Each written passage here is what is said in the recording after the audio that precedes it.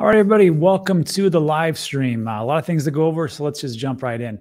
So, as the title and thumbnail suggest, uh, it's been quite an interesting day here in the uh, crypto verse, crypto world, whatever you want to call it, as uh, we saw a little bit of a pullback and then a big jump for Bitcoin. And in under uh, roughly four hours, we saw like a thousand dollar gain, or roughly almost two percent. But uh, that's not the story. The story is just how volatile this market is. And if this is your your first uh, rodeo, especially after buying the top, I need to show you some things uh, so you can get ready for the next big ups.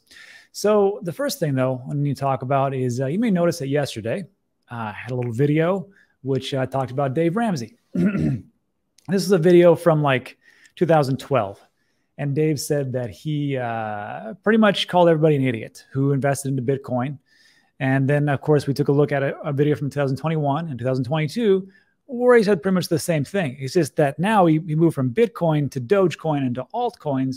And he said, everybody buys that's a moron. And uh, we talked about this yesterday, and I made it very clear. I mean, first of all, I actually like Dave Ramsey. I think he does great work with people who are massively in debt and helps to uh, pull them out. But uh, you know, on this one, he's wrong. He's been wrong for a long time, and it's just how it is. Nobody's be was going to be 100 percent.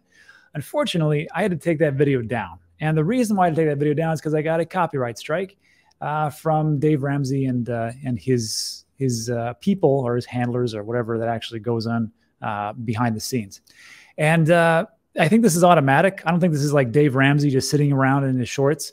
Uh, just looking for people to uh, pull up copyright. I think this just actually happens because of the audio. There's something that with uh, YouTube that can be done where they see a specific piece of audio and of course, there's an algorithm that says, hey, this is your actual video. Do you want to claim this? And of course, it's automatic and uh, down it goes. So uh, that one I had to take down.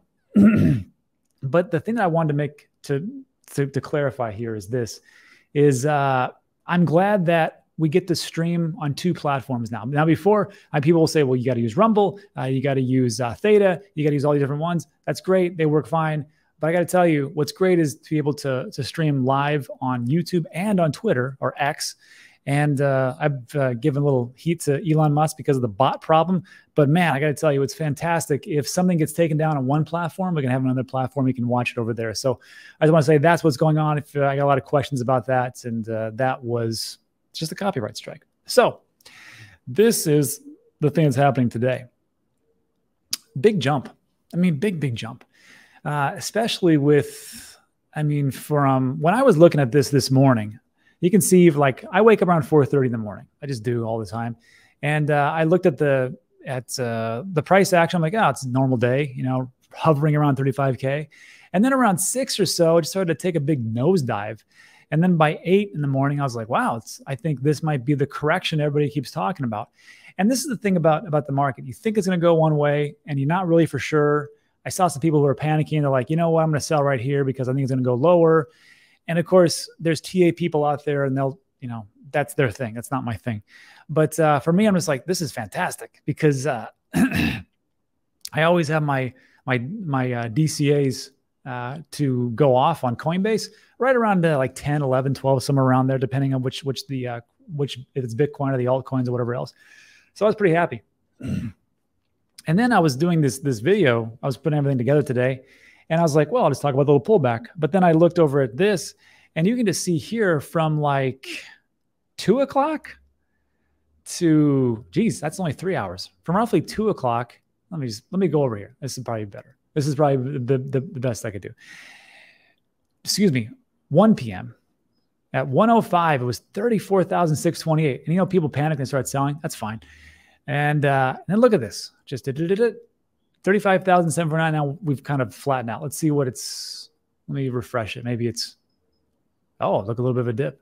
But yeah, I mean, look at that. That's a major candle.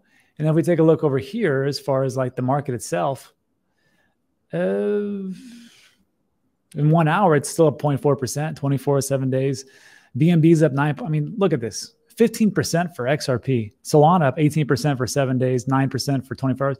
This is the beauty of uh, of not chasing candles and not stressing yourself out. Because to me, like I just look at this, I'm like, well, I went either way, so it really doesn't matter.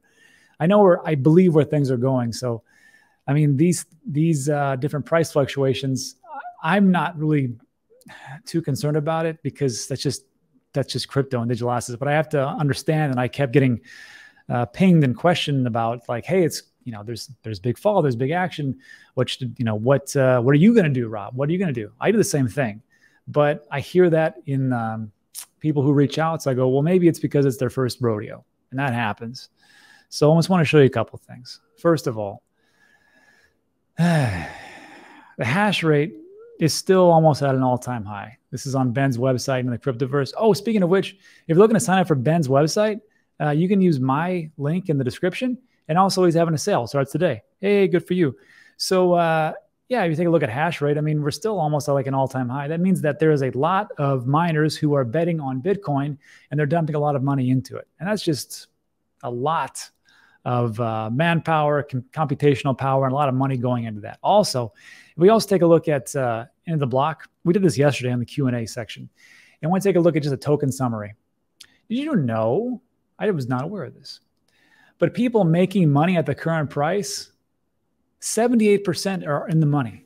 And as that as that green goes up and as the price goes up, you're going to see more people in the money, which are going to make people hold on even more because they're like, well, I'm not going to sell because look, there's a potential an ETF coming down. We don't know what's going to happen with the macro environment, but it could be a hedge against inflation. It could be a hedge against the uh, coming collapse of the traditional stock market and equities. It could be a lot of problems that are going on globally. So I'm just going to hold on to this because I've been holding out for how long? Oh, yeah, 69% of people have hold, have been holding their Bitcoin for a year or longer. And if you take a look for between one and 12 months, it's almost like 70, 93%. 90, well, 94, well, 93, 94. It's a little bit off, whatever. 93, 94% are just holding Bitcoin, just holding. It's just the 6% of people, and maybe, you know, some of the 24%, I, I, I got you, are just kind of like trading it, moving it around and so on and so forth. Also, remember, this also includes uh, Bitcoin that is dormant. So yeah, you can see that. And uh, I don't really care about this stuff. But what is interesting to me is this right here inflows and outflows. I find it fascinating that right now you still had seven days, 6.13 billion of inflows of Bitcoin going into the exchanges. Usually, when you put things into the exchanges, you're looking to sell. Then in seven days, you had 6.17 people taking it out into their cold storage devices or moving around for different uh, wallets or whatever they want to do. I found it was just interesting the inflows and outflows of how tight things are, which means I think most people know where things are going, but there's that small percentage of people who just want to trade it and move it around, and that's fine. Go up to them. But the thing is with this is you have to remember that if this is the first time around, or maybe it's the second time around, as a reminder, I'm going to show you two things. First of all, nothing goes up in a straight line. It just does not happen. It's not like that. It's difficult. And uh, when you look at these things, you're like, oh, this is just this is just normal day. This is just a Tuesday. And that is essentially what it actually is. And this was the uh, the market in 2017, 2016 to 2018. And you can see it. That was a monster. I remember living through this. It was fantastic. And you would see like these massive pullbacks, massive, massive to get up to here. Now, I want to show you is this. I put this together this morning because I was just curious. I'm like, well, how did that look in 2021? This is what it looks like in 2021. Did you know that at the beginning of the year, we went from actually, we, man, we went we went actually from sub 30,000 to 40,000 at the beginning of the year, January 1st, 2021 to roughly around January 15th, January 20th, somewhere around there. That's a big move. And then we dropped 25%. So we look at the, today and these little drops, this is nothing. I mean, uh, people are excited like last week about the big, you know, push. I'm like, you've not seen anything. And then, of course, we went from uh, February uh, into March and we increased by 89%. I mean, 30,000 to almost 60,000, 50, 56,000, somewhere around there. Everybody was exuberant. We thought this was it. This was great. It's going to keep going up. It never keeps going up. Then it dropped 22%. Then it went up 30 and 18 and 21, 26, 18. And then around here, after the big April move, which was it was above 60,000. I want you to remember, I just drew a line because I didn't want to go through these like little peaks and valleys. From a little bit after May, we were looking at around 56, 57,000. It dropped all the way down almost at almost at 30,000, 33, somewhere around there. That was a 65% drop. And we thought, well, maybe this is it. And of course, it was 43, and then 24, and then 30. It was insane.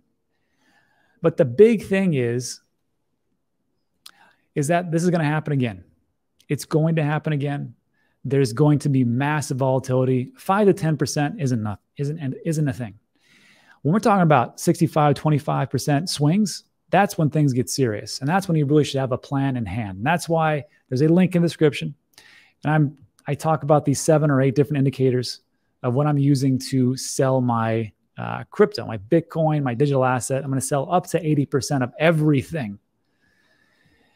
And why? Well, I've told this, I've said this ad nauseum, but you know, I keep 20% around because you never know when, you know, who knows? Maybe XRP becomes the world reserve currency. I don't know. So you hold on to that because uh, things could really go not just a moonshot, but like Jupiter shot, something crazy like that. But just remember this: this is going to happen. It's going to repeat happening. And uh, today's just another day. So let me know what you think about that in the comments section. Also, I made mention real quick of the macro environment. And uh, to get you wrap your head around what's going on in the macro, I always like like th- there's a great channel, David Lin. Uh, he brings on a lot of smart people, a lot of uh, macro economists, and a lot of different people who are very smart in the in the in the in the area, macroeconomics and what's going on. And one thing that I've learned from that channel is nobody knows nobody knows where things are going. You can have an equally smart person. You can have a Steve Hanke on there, and he can tell you, "Oh, you know what? I think things are going to be. I mean, we beat inflation. It's going to be fine. We might hit a little bit of recession, but it's not going to be too awful." And the next guy, equally as smart, could say, "You know what? We're going to go to depression tomorrow." And this just reinforces my my thought process. This is from uh, Genevieve. Genevieve. Uh, Roach Decter, CFA. She is a money manager. Where's she from? Uh, Grit Capital, top finance newsletter on Beehive. She's been on Fox and Vice and all that great stuff. So, what she took a look at was all the different uh, macro experts who are bearish and or bullish. I thought it was interesting. Let me see. Of how many are like they're kind of in between but it's all across the spectrum. You got Ray Dalio, who's a she, says, she calls it a mild bear, and he's like, yeah, cash is king. And you got uh, uh, Steve Cohen, he's bullish. He thinks everything's going to go up to the moon. You got Bill Ackman, who's whatever the heck he's doing. It's unknown at this point. And you got Ken Fisher, majorly bullish. Ken Griffin uh, from Citadel, he's mildly bearish. Michael Burry of The Big Short, he's super bearish. Bill Gross, and Stan Druckenmiller bearish, and this goes on and on and on. And Warren Buffett is mildly bearish. And I just I find this just fascinating because I think to myself, I'm like, how can you really navigate these waters without just just kind of sticking around until the big bull run comes? I'm not that smart, so I'm just kind of accumulating as time goes on, looking for some indicators and some blow off tops, and hopefully I get to within 60% of the top, and I will be super happy. Anyhow, let me just think about that as a recourse. And then finally, just to just to finish up before we uh, get into the Q and A, I want to say fan- thank you, Tangem, for listening. I um, the Tangem wallet cold storage device link in the description. Only affiliate links. You don't have to use it, but if you don't, you won't get ten percent off. But they just added on uh, Near, which is fan- which is great because Near is deprecating their um, browser wallet, and you have to move everything over. So actually, sh- shot everything from uh, the wallet itself because Ledger you can use it, but you gotta you have to use the actual browser. And I shot all my near back to Coin to, to uh, Coinbase, and now this is great because once I update the app, I can put all my near back onto my or finally onto my Tangem wallet. So that's just one more thing that they've done, as well as an upgrade to their app itself. And then finally, I just want to talk real quick about Cardano and Midnight. So apparently, they just had the um, the Cardano Foundation. There was a big event. Uh, I think this was in uh, Austin. Correct me in the comment section. And uh, big event, and they they announced that they're going to have another chain called Midnight, and apparently, this is within the Cardano ecosystem, but it's going to run in parallel. Uh, data protection will empower regulation friendly apps. Interesting that safeguards sensitive commercial and personal data. Developers and organizations can quickly build innovative apps with an easy to use programming model based on TypeScript and zero knowledge proofs. So this apparently is going to be coming out. No one really knows when per se. They know they're building it. The devs are are uh, working, I guess, feverishly on this to but it's going to be it's going to take months for them to actually release it. But the big thing, which I found over here at uh, front of the shows, uh, Paul Cardano with Paul. Uh, check out his channel. He does really in-depth, great stuff with, with uh, Cardano. And uh, there was a quick video he had. This was the uh, this was the CEO, if I'm not mistaken. Uh, uh, ah, there he goes. Yeah, Eran Barak. Barak. And he explains this is like in uh, 40 seconds what midnight is. So I'm just going to hopefully Paul doesn't give me a copyright notice like uh, Dave Ramsey did. So we'll see. Yeah, but just take a listen to this. This uh, kind of sums it up. Midnight is looking to be a partner chain to Cardano. A partner is, you know, both sides get something. It has to be a win win. So we would like to leverage the ecosystem of Cardano to help us go to market and get to decentralized fast. In exchange, we will provide SPOs and exchanges with both new revenue sources as well as incentives. We will provide developers with use cases and a fund to help them create more interoperability between the networks. And as was shared last year, I believe everybody here is an ADA holder.